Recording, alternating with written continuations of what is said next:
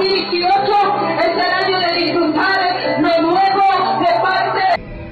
Este es el tiempo, dice el Padre. Este es el tiempo, dice el Padre.